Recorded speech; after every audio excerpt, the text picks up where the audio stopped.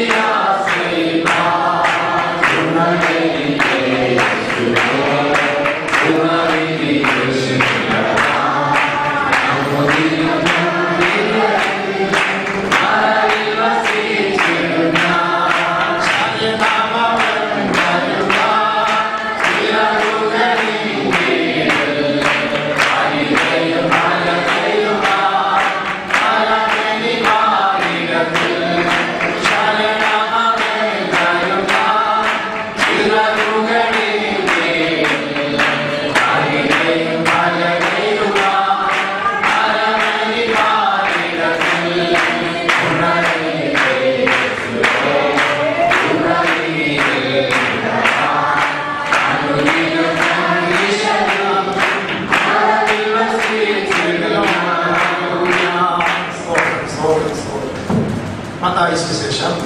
നാലാം അധ്യായം പത്താമത്തെ വാക്യം. മത്തായിയുടെ സുവിശേഷം നാലാമധ്യായം പത്താമത്തെ വാക്യം.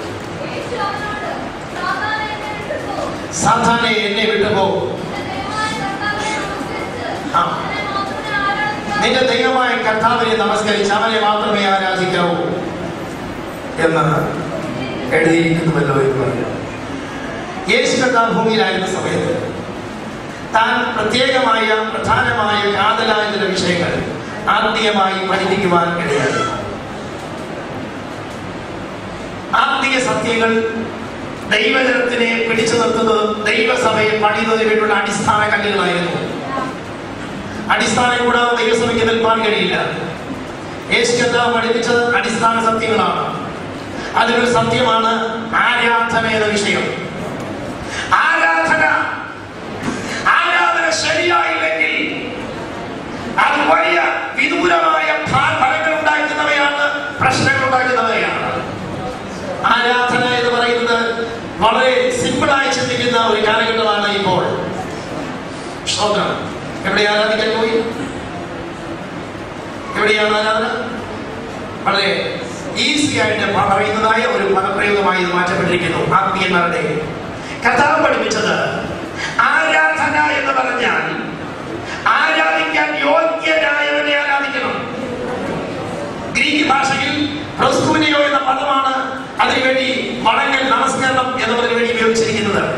അത് അർത്ഥം എങ്ങനെയാണ് ആരാധിക്കാൻ യോഗ്യനായതിനെ ഭയപ്പെടുവാനും ബഹുമാനിക്കാൻ യോഗ്യമായതിനെ ഏതോ വലിയ ഒന്നിനെ ആ ബഹുമാനത്തോടും സ്നേഹത്തോടും ഭയത്തോടും ഭക്തിയോടും കൂടെ അതിന് മുമ്പിൽ വീണ് വണങ്ങി നമസ്കരിക്കുക എന്നുള്ള പദമാണ് അവിടെ ഉപയോഗിച്ചിരിക്കുന്നത്.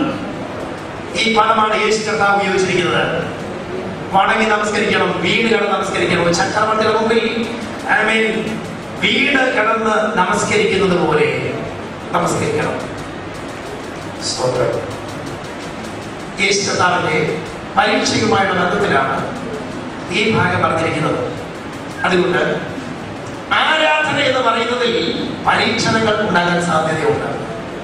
ദൈവത്തെ ആരാധിക്കുന്നു എന്ന് പറയുന്നതിനകത്ത് ഒരു പരിശോധന കടന്നു വരാൻ പരീക്ഷണം കടന്നു വരാൻ സാധ്യതയുണ്ട്.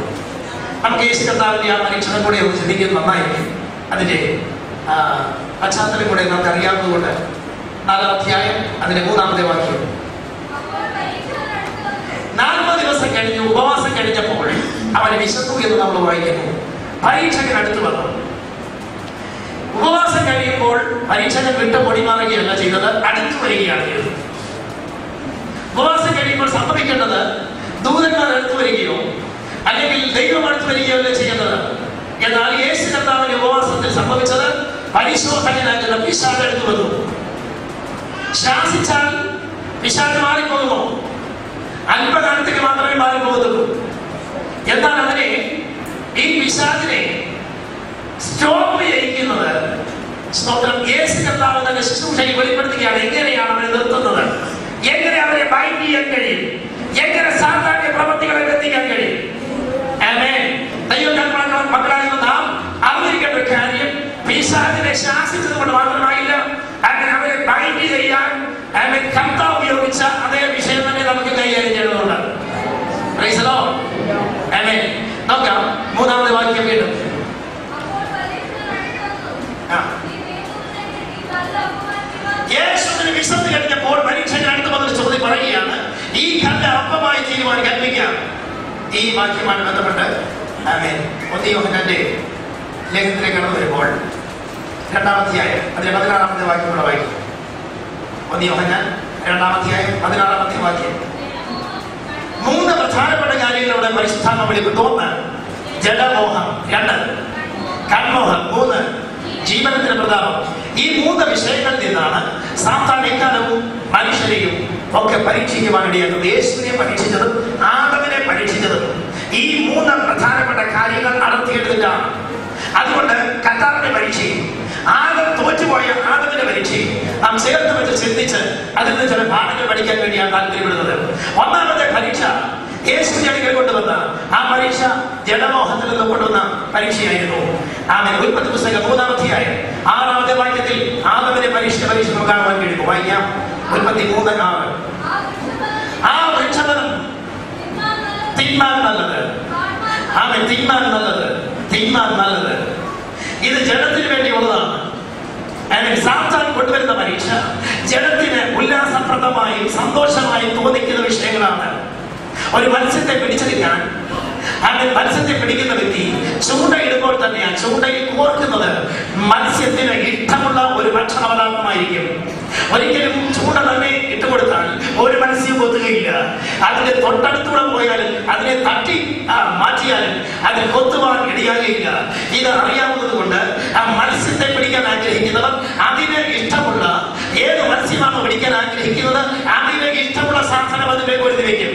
സ്തോത്രം സാത്താന്റെ തന്ത്രങ്ങളെ തിരിച്ചറിയണമെന്ന് ദൈവത്തിന് പറയുന്നു. സാത്താന്റെ തന്ത്രങ്ങൾ എന്ന് പറയുന്നത് ഇങ്ങനെ പൊരുത്തി വെക്കുന്നവയാണ്. പുറമെ നോക്കിയാൽ പ്രശ്നമില്ല. പുറമെ നോക്കിയാൽ ഒരു കുഴപ്പമില്ല പക്ഷെ അതിന്റെ ഉള്ളിൽ ഒരു വലിയ ചൂണ്ടയിരിക്കുന്നത് ആദ്യങ്ങളുടെ കണ്ണുകളിൽ കാണുവാൻ കഴിയും. സ്തോത്രം. ലോകം അതിന് മോഹവും അങ്ങനെ ഒഴിഞ്ഞു പോകും ദൈവേട്ടം ചെയ്യുന്നവനോ എന്തെങ്കിലും ഇരിക്കുന്നു ലോകത്തിൽ മോഹങ്ങളുണ്ട് ലോകം വളരെ ഇന്നകരമായി സാധാരണ ഉണ്ടാക്കിയിരിക്കുന്നതാണ് വീടുമായ ലോകം ദൈവത്തിൽ ദൃഷ്ടിയിൽ ഭാവം അഗ്രമാണ് ഞങ്ങൾ അതിനെ മനോഹരമാക്കി നല്ലൊരു കാണണം കൊണ്ടിരിക്കുകയാണ് സാത്താൻ ചെയ്തിരിക്കുന്നത് അതുകൊണ്ട് അത് ജനത്തെ മോഹിപ്പിക്കുന്നതും അങ്ങനെ ഉത്സാഹിപ്പിക്കുന്നതുമാണ് ഇതിന്മേലാണ് ജയമെടുക്കുവാൻ ദൈവം നമ്മുടെ ഇടപെട്ടുകൊണ്ടിരിക്കുന്നത് ആമേൻ. രണ്ടാമത്തത് മത്തായി സുവിശേഷം നാലാം അധ്യായം എട്ട് ഒൻപത് വാക്യങ്ങൾ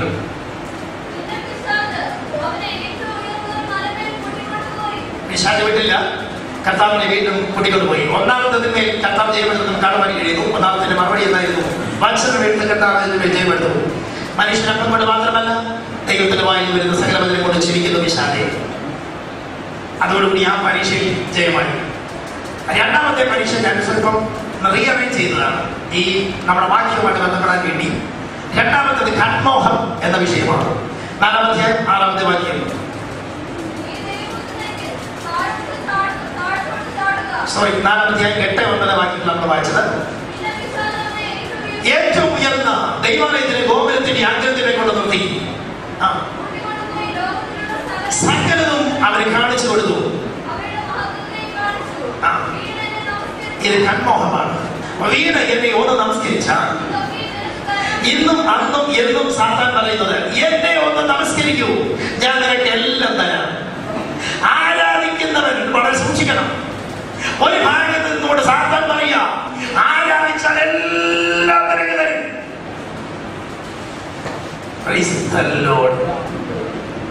പോലെ ദൈവത്തെ ആരാധിക്കാൻ കടന്നു വന്നിരിക്കുന്നവർ ഓർക്കണം. യേശുവിനെ ആരാധിച്ചാൽ എല്ലാം കിട്ടുകയില്ല എന്നാൽ ആരാധന ശരിയല്ലാതെ ഈശാനെ ആരാധിക്കാമെങ്കിൽ എല്ലാം കിട്ടും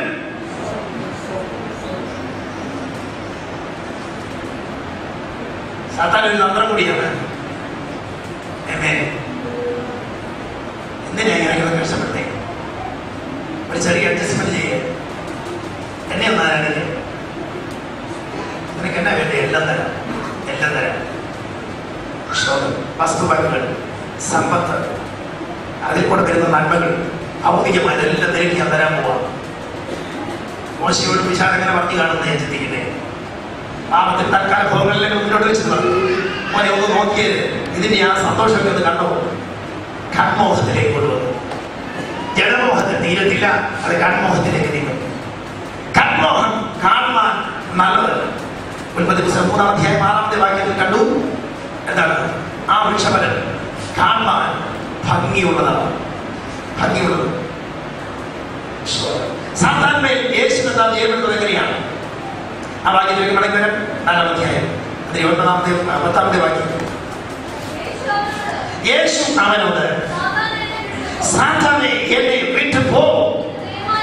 നിന്റെ ദൈവമായ കർത്താവിനെ നമസ്കരിച്ച് അവനെ മാത്രമേ ആരാധിക്കാവൂ യേശു കർത്താവ് ഇപ്പോൾ മാനുഷികമായി ഭൂമിയിലായിരിക്കുന്ന സമയത്ത് ധാരാളം ഷോർട്ട് കമ്മിങ്സ് ജീവിതത്തിലുണ്ട്. എന്ന് പറഞ്ഞാൽ ഒത്തിരി ഒത്തിരി ഒത്തിരി കാര്യങ്ങൾ ആവശ്യമുണ്ട് ഷോർട്ടേജസ്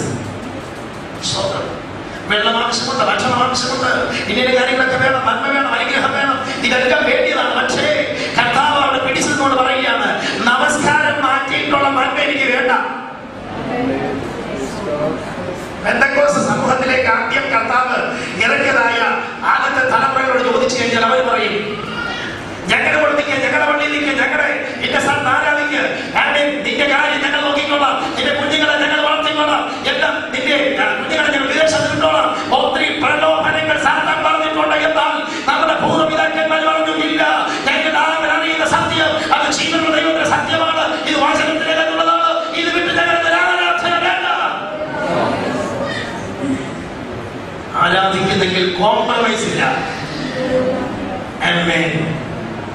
അങ്ങനെയുള്ള ആരാധനയാണ് ദൈവം സ്വീകരിക്കുന്ന ആരാധന. പിശാച മനുഷ്യരെ ഉപയോഗിച്ചിട്ട് പറയും പിന്നെ എന്തിനാ എത്ര കഷ്ടപ്പെട്ടേ ഇങ്ങനെ പോലെ ഇങ്ങനെ പോലെ ഞങ്ങളുടെ കൂടെ നിൽക്കാൻ വേണ്ടതൊക്കെ ഞങ്ങൾ തരാം. അവിടെ നമ്മൾ പറയാൻ പോകുന്ന വാക്ക് യേശു പറഞ്ഞ വാക്കാണെങ്കിൽ സാത്താൻ നമ്മെ വിട്ടുപോകും. ഇടയ്ക്കിടയ്ക്ക് വന്ന് നമ്മുടെ ഹൃദയത്തെ തട്ടുന്നത് എന്തുകൊണ്ടാണ് ഇപ്പോഴും തീരുമാനം എടുത്തില്ല കൊണ്ടാണ് എങ്കിലും ആ പഴയ സത്യത്തിൽ എങ്കിലും അവരോട് നിന്നിരുന്നെങ്കിൽ ആ കഷ്ടമായി. ഈ പെന്തകുസാർ ഒന്നും ചെയ്യുന്നില്ല. സീരിയസ് കാണാതിരുന്നെങ്കിൽ നിങ്ങളുടെ വീടെങ്കിലും വെച്ച് നിർത്തി. ഒരു വണ്ടിയെങ്കിലും വെച്ച് തന്നെ സാത്താൻ എന്നെ വിട്ടുപോകുന്നത് എത്ര പേര് പറയുന്നു എന്റെ വണ്ടിയല്ല വീടല്ല. ഞാൻ ഇവിടെ കിടന്ന് പാട്ടിന് കിടന്ന് മരിക്കേണ്ടി വന്നാണ്. എന്റെ കർത്താവ് എന്നെ സഹായിക്കുന്നു. എനിക്ക് നിത്യതയിൽ പോകുന്നത് ആവശ്യമുണ്ട് എത്ര പേർക്ക് ഉള്ളത്തിന്റെ ഉള്ളിൽ എന്ന് പറയാൻ കഴിയും അങ്ങനെയുള്ളവരെ ഓർത്ത് ഞാൻ കർത്താവിനെ സ്തുതിക്കുന്നു. ദൈവം നിങ്ങളുടെ അനുഗ്രഹിക്കട്ടെ. ദൈവം മനസ്സുകളെ അനുഗ്രഹിക്കട്ടെ. യേശുവിന്റെ അധികാരമുള്ള നാമത്തിൽ പുറകോട്ട് വലിക്കുന്നതായ ഇമ്പങ്ങളെ ആ ഇന്ന് കുറിച്ചതായ പരിശുദ്ധാമ പറയുന്നു. നിന്നെ പുറകോട്ട് വലിക്കുന്നതായ ചിന്തകളെ അതിന്റെ ആ ഇച്ഛകളെ ഇന്ന് വൽക്കാലം മുറിച്ചു വിടാൻ യേശുവിനെ സ്നേഹിക്കുന്നു ആ ഭാവത്തിന്റെ ചങ്ങലകൾ പൊട്ടിപ്പോകട്ടെ യേശുവിന്റെ നാമത്തിൽ മൂന്നാമത് നാലാം അധ്യായത്തിന്റെ ആറാമത്തെ വാക്യമാണ് നീ ദൈവപുത്രനെങ്കിൽ ഇപ്പോൾ വേറെ പരീക്ഷ ഇത് രണ്ടാമത്തെ പരീക്ഷയാണ്. ഞാനത് റിയലൈസ് ചെയ്യുന്ന സ്തോത്രം. ജീവനത്തിന്റെ പ്രതാപം എന്ന് പറയുന്ന ഒരു വ്യക്തി ഇതൊന്നും പരാജയപ്പെട്ടില്ലെങ്കിൽ സാത്താൻ അവസാനം വേറെ പരിപാടിയുണ്ട്. പ്രൈഡ് ഓഫ് ലൈഫ് ജീവനത്തിന്റെ പ്രതാപം. ഇതാണ് പലരുടെയും ഉള്ളിൽ കയറുന്ന ഏറ്റവും വലിയ പാഠം. ഞാൻ ആരാണെന്നറിയാമോ സാത്താൻ പറഞ്ഞ ഉഗ്രനാണ്. നീ തന്റെ ഉള്ളിയാണ് നീ മോശം പറഞ്ഞേ ഒന്നുകൊണ്ട് ചിരിച്ചേ നല്ല മിടുക്കനാണ് എനിക്കൊരു സെൽഫ് കോൺഫിഡൻസ് ഉണ്ടാകട്ടെ